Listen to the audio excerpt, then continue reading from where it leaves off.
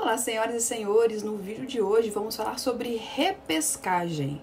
Vai fazer a repescagem? Fica comigo que esse vídeo é para você.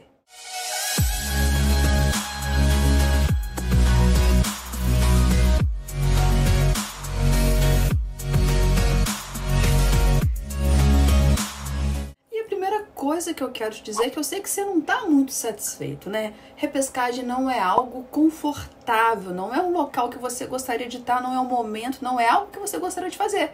Você gostaria de estar a essa altura curtindo a sua aprovação. Mas deixa eu te dar a boa notícia. A repescagem é a sua melhor chance de aprovação. Se for bem aproveitada, na repescagem você vai conseguir fazer o que você não fez quando você não passou.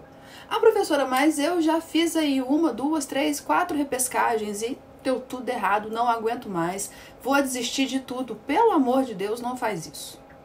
Só acaba quando termina.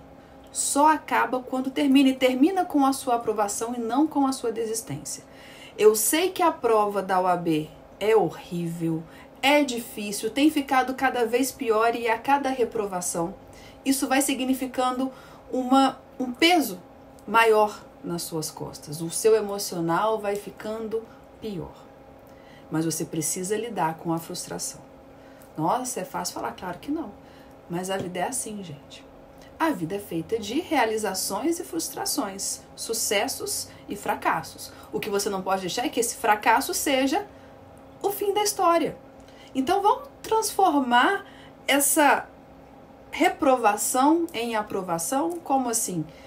Você não começa a repescagem do zero. Você não esqueceu tudo que você aprendeu, você não jogou fora todo aquele tempo de estudo, seja vindo de outra repescagem, seja fazendo a prova de segunda fase pela primeira vez, não importa quantas vezes você tentou. O que importa é o que você está disposto a fazer para dar certo dessa vez. Esse vídeo é sobre isso. E na repescagem, a primeira coisa que você precisa fazer é analisar o que deu de errado. Vários fatores podem ter gerado a sua reprovação. Pode ser que todos eles tenham contribuído, pode ser que não tenha sido um fator apenas, pode ter sido o nervosismo. Você pode ter se preparado muito bem, você pode ter estudado tudo. E às vezes, exatamente esse excesso de estudo, de dedicação, gerou um estresse e uma cobrança que culminaram num nervosismo. E aí, gente, às vezes você sabe. Nossa, quantas pessoas me falaram que nessa prova fizeram recurso ordinário sabendo que estavam na fase de execução e que na fase de execução não cabia recurso ordinário. Mas as, o dia da prova é um dia inexplicável. Às vezes o cérebro não está ali funcionando. Então você precisa aprender a trabalhar isso, esse nervosismo que você tem no dia da prova.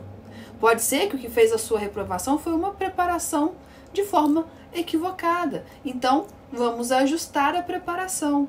Pode ser que você tenha sido reprovado por um erro de correção da banca. Olha, isso não é raro. Às vezes a banca não corrigiu corretamente algum ponto que você fez que merecia pontuação e aí você não foi aprovado, recorreu e ainda assim não deu certo. Vários fatores contribuem para uma reprovação. Não é um ato único, mas você precisa entender o que você fez de errado e começar a traçar nova estratégia. Bom, se eu treinei pouco, o que, que eu vou fazer? Treinar muito. Se eu estudei pouca teoria de direito material, direito processual, o que, que eu vou fazer? Estudar mais teoria direito material e processual. Agora, uma coisa que é fundamental e que eu vou falar isso e repetir, que eu já falo isso ó, há muito tempo. Para! Para de tentar adivinhar qual é a peça que vai cair. Gente, não é de hoje. Deve quem aí maratona os vídeos do canal lá do YouTube deve estar tá, ou aqui do YouTube, não sei se está assistindo esse vídeo no YouTube ou no Instagram, eu deve estar tá cansado de me ouvir falar. Para de tentar adivinhar a peça. Não é esse o foco. Você não está fazendo um curso de adivinhação. Não existe lógica, não importa a peça que caia. O que importa é você saber qual é a peça que vai cair. Então não tenta ficar adivinhando a peça. Isso só te prejudica. Isso prejudica a sua preparação. Porque, querendo ou não, a partir do momento que você começa a achar que uma determinada peça vai cair, você se dedica mais a ela, esquece outras.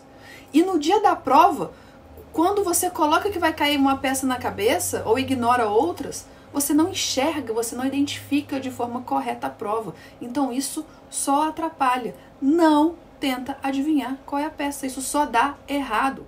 Não tenta adivinhar qual é a peça. Não vai ser bom. E eu já falo isso, não é de hoje. Então tá. Então eu não vou tentar adivinhar a peça, não vou ter, treinar as principais. Que, qual que é a forma correta então de estudo? Gente, você não vai adivinhar qual é a peça, você não vai prever qual é a peça, você não vai cair na historinha de ninguém falando que acha que vai cair essa por causa disso, por causa daquilo. Não, não. O que, que você vai fazer? aprender a identificar cada peça e a fazer todas elas. Nossa, fazer todas elas? É, fazer todas elas, mas daqui a pouco eu te explico como. Identificar. Como que a gente identifica a peça? Não tem segredo. Duas perguntas. Qual foi o último momento processual? O que, que aconteceu por último na, naquela historinha do enunciado? Onde parou o processo? Porque de onde parou você vai saber para onde vai. Então você precisa saber a linha do tempo, isso é indiscutível. Não tem como você fazer a prova de segunda fase se você não conhece a linha do tempo, a marcha processual. Para qualquer prova que você vai fazer, não só direito do trabalho, você precisa saber a marcha processual, como o processo nasce, como o processo morre, por onde ele passa, quais são as fases, o que, que vem daqui, depois aqui, para onde vai. Você, pela linha do tempo, vai saber onde chegou. E pela linha do tempo e pelo entendimento das peças, você vai saber para onde vai. Porque em muitas hipóteses, o último momento processual não vai ser suficiente para você identificar qual é a peça. Então, além de saber onde parou, você precisa saber para onde vai. É o que eu costumo brincar com os alunos. Pega a linha do tempo, tem que saber estudar todo dia a linha do tempo, não tem outra solução. Estuda a linha do tempo. Lembrando, temos uma linha do tempo da fase de conhecimento, uma linha do tempo na fase de execução tem que saber toda a trajetória, por onde passa o processo, cada passo a passo.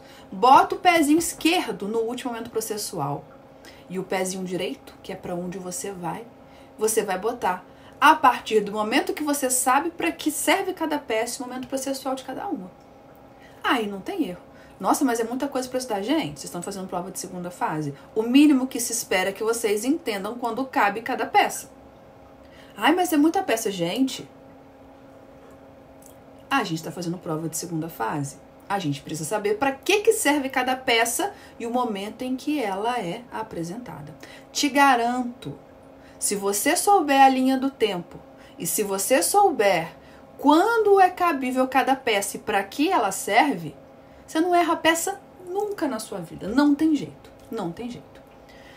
Como que eu faço para entender então quando cabe cada peça? teoria. Estuda a teoria de cada peça que com certeza você vai saber o momento de cabimento daquela peça e o objetivo daquela peça. Se um dia alguém te contou o mito das três peças, que em direito do trabalho só quer reclamação trabalhista, contestação em RO, isso aí já foi, ó, faz tempo, tem muito tempo que não é assim. Tem muito tempo que a gente tem que se preocupar em saber todas as peças e não se desespere, porque isso não é a parte mais difícil entra tudo dentro do que eu disse que você precisa estudar a teoria de cada peça, saber quando é cabível e para que, que ela serve. E aí, não se preocupe, eu sei que vocês têm uma paranoia com estrutura. Gente, estrutura pontuou muito pouco. Muito pouco. O que você precisa saber é para que, que serve aquela peça. Você precisa entender o que você faz em cada peça não reproduzir igual um robozinho. Isso não vai dar certo também. Estrutura de peça, como eu disse, pontua muito pouco. Então, o que, que é importante você saber de estrutura? Estrutura, gente, não existe muita obrigatoriedade em estrutura. A estrutura você tem que utilizar como se fosse um roteiro que você vai seguir. É para te ajudar, só para isso, não é para te apavorar, não é para você entrar em desespero. A estrutura de uma peça nada mais é do que um roteiro que você vai seguir. Só isso. O que você precisa saber é que existem dois grandes tipos de estrutura: a estrutura de petição e a estrutura de recurso. Você faz qualquer peça, qualquer peça, com essas duas estruturas, de petição e de recurso. É claro que dependendo da petição ou do recurso vai ter um detalhezinho a mais, um pressuposto de admissibilidade a mais nos recursos, um requisito específico nas petições. Mas o que muda é muito pouca coisa, não muda muito. E o que muda, na maioria das vezes, vai ter um artigo dizendo que você, o que você vai ter que fazer. vai ter um artigo de uma lei do CPC, da CLT. Então, o que é diferente naquela peça, você vai saber que tem que fazer porque você vai ler o artigo. Sempre faça a peça, sempre estude a peça, lendo todos os artigos de previsão legal. Se ela está prevista na CLT, leia todos os artigos da CLT que falam dessa peça. Se for no CPC, leiam todos os artigos do CPC que falam dessa peça. Se é uma lei específica, leia toda a lei. Sim, porque aí você vai identificando ali na previsão legal daquela peça o que você precisa fazer de diferente. E aí aquele monstro, nossa, eu nunca fiz a peça X. Você consegue fazer. Desde que você identifique se é um recurso ou se é uma petição e você consiga identificar o que tem de específico naquela peça com a previsão legal. É isso que você precisa fazer. É isso que vai te aprovar. Não entra na paranoia da estrutura. Você faz qualquer peça com duas. Você sabe o que mais pontua numa peça? As teses. Você pode errar tudo da estrutura, desde que você acerte o nome da peça, de verdade. Você pode errar tudo na estrutura. Acertou a peça e acertou as teses, você tira uma nota boa. Quando caiu o mandado de segurança, no 36º exame, uma galera foi aprovada fazendo mandado de segurança em formato de recurso. E mandado de segurança é uma petição inicial. Quantas pessoas que acertaram as teses fizeram mandado de segurança todo errado, em formato de recurso, com folha de rosto, folha de razões, não fizeram os requerimentos finais que, é, que tem no mandato de segurança, mas porque acertou as teses foi aprovado. Então o que você precisa se preocupar é identificar a peça e como que identifica? Repetindo, linha do tempo, estudando o cabimento e o momento de todas as peças. Depois que identificou, saber se é recurso ou se é uma petição.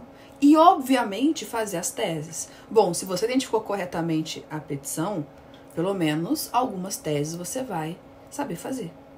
E aí é que entra um detalhe que muita gente ignora na preparação da segunda fase: estudo de direito material e direito processual. Porque é muito comum o aluno chega na segunda fase e acha que tem que treinar sua peça.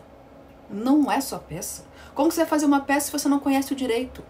Você precisa conhecer o direito material para saber as teses. Você precisa conhecer o direito processual para entender a peça. Tudo que você faz numa peça tem um direito processual por trás. Todas as suas teses têm um direito material por trás. Quando você tem dificuldade de resolver uma peça, ou nas teses, ou é, na, nas questões, essa dificuldade ela é porque você provavelmente está com uma deficiência no estudo do direito material e processual, que é a base. Então, como que você vai fazer uma peça se você não sabe fundamentar? né? Muito comum. Ah, eu tenho dificuldade de fundamentar. Tá bom, mas por que, que você tem essa dificuldade de fundamentar? Os temas, as teses, você identifica? Identifico. E aí você não consegue achar no índice. Isso. Por quê? Se, se não tivesse artigos, não tivesse índice, você saberia dizer por que, que você está fazendo aquela tese? numa reclamação trabalhista, por exemplo, sabe por que, que você pediria aquele direito para o seu cliente? Ou numa contestação, por que você contestaria? Ou num recurso, por que você pediria a reforma da sentença? Ou nas contrarrazões, por que, que você contrarrazoaria aquele recurso pedindo a manutenção da sentença? Se você não sabe precisa consultar, achar um artigo ou uma súmula, é porque está faltando direito material ou processual às vezes. Então não tem como fazer segunda fase sem estudar direito material processual, gente. Pode até ser que dê certo, que você dê sorte de cair teses que você, identificando o tema e no índice emissivo, consegue fundamentar. Mas você vai querer contar com a sorte? Botar sua aprovação em nome da sorte? Não vai, né? Não vale a pena o risco. Você tem sorte na sua vida? Não sei se você tem sorte na sua vida. Mas vai botar a sua aprovação em risco contando com a sorte? Não. Você vai estudar direito material direito processual. No mínimo, os temas mais importantes os temas mais recorrentes, sabendo que de alguns exames para cá, dos últimos cinco exames, a banca tem inovado nas teses também. Então, dá teses que ela está acostumada, que você já viu em provas anteriores, que ela já cobrou em momentos anteriores, e dá teses que você nunca viu. Ou teses que você acha que viu, mas é que ela mudou um detalhezinho. Se você decorou alguma coisa, está só repetindo reproduzindo, você não vai acertar. Por isso é importante também não só estudar por provas antigas, mas também estudar por peças inéditas, peças ainda que da reclamação trabalhista, contestação, RO, as peças mais é, cobradas, peças novas, com teses novas, porque a banca não dá mais do mesmo há muito tempo. Então, se você fica estudando só por provas antigas, sua aprovação, vai, sua é, preparação vai ficar deficitária. Então, você não pode estudar só por provas antigas. Você não pode estudar só peça, tentar fazer só peça, tentar fazer questões sem o estudo de direito material e direito processual. E você não pode ficar sem treinar. O treino é fundamental na segunda fase. O que, que é isso? É fazer o maior número de peças possíveis. Você precisa fazer todas as peças. É claro que reclamação trabalhista, contestação e RO você vai fazer mais vezes. Não porque elas têm mais probabilidade de cair, não, mas porque elas são a base. Se você faz um recurso ordinário, por exemplo, você faz qualquer recurso. Você faz o recurso de revista, o agravo de petição, até o agravo de instrumento. Que às vezes você acha que é difícil, mas é o recurso mais fácil que existe. Então, é por isso que você precisa treinar essas peças principais, porque elas são básicas. Se você consegue fazer elas, lembra, são duas estruturas. Se você consegue fazer essas peças, você faz qualquer outra. Mas tem que treinar. Tem que treinar. Se for possível fazer uma peça por dia, ótimo. Se não for, no mínimo uma por semana. No mínimo uma por semana. No mínimo. Tem que treinar. Você pode assistir, você pode fazer o melhor curso com o melhor professor, o melhor método. Se você não treina, não adianta nada. Se você treinou pouco, você percebeu que isso fez falta no dia da prova. Então, não deixem nunca de treinar. Esse vídeo aqui é mais um bate-papo, né, para você que está de repescagem, talvez desanimado, querendo desistir ou sem saber como fazer. Lembra, essa é a sua melhor chance. É a sua melhor chance porque você não começa do zero. É a melhor chance porque você tem muito mais tempo. É a sua melhor chance porque você já vivenciou uma prova, você sabe como é. É a sua melhor chance porque você tem a oportunidade de corrigir os seus erros. Mas desde que você se proponha e faça a sua preparação da forma correta. Se você tiver interesse em adquirir um dos nossos cursos de oficina de peças, treinamento de questões ou as aulas individuais, que é uma mentoria turbinada, que eu chamo, porque além da mentoria você tem aulas mesmo, só que como se fossem aulas particulares. Você tem essa possibilidade. Entre em contato pelo WhatsApp que fica aqui na descrição do vídeo. Você tem vários, vários, vários vídeos lá no meu canal no YouTube. E lembra, a aprovação a maior parte na sua mão. Não desiste. Faz da forma certa. E pela milésima vez, não tenta adivinhar que peça que vai cair. Não entra nesse surto coletivo. Coloca na sua cabeça a peça que vier, você vai identificar e você vai saber fazer. Porque você vai estudar a linha do tempo. Você vai estudar para que, que serve cada peça. E você vai saber fazer. Não importa a peça que venha. Se vier uma inédita, Acredita em mim, ela é inédita porque ela é fácil. Se fosse difícil, a banca cobrava. Ela não está aí para te aprovar. Ah, mas aquele agravo de petição que era inédito vai muito difícil. Não, gente. É porque você treinou pouco. Por que, que você acha as peças inéditas difíceis? Porque você treinou pouco. Por que, que você gosta da reclamação trabalhos da contestação do RO? Porque você treina mais essas peças. Faz o experimento. Pega uma outra e treina da mesma intensidade que você treina uma dessas três, você não vai achar muito mais fácil ainda que elas. Então, vai por mim. Confia no método que vai dar certo. Te espero no próximo vídeo.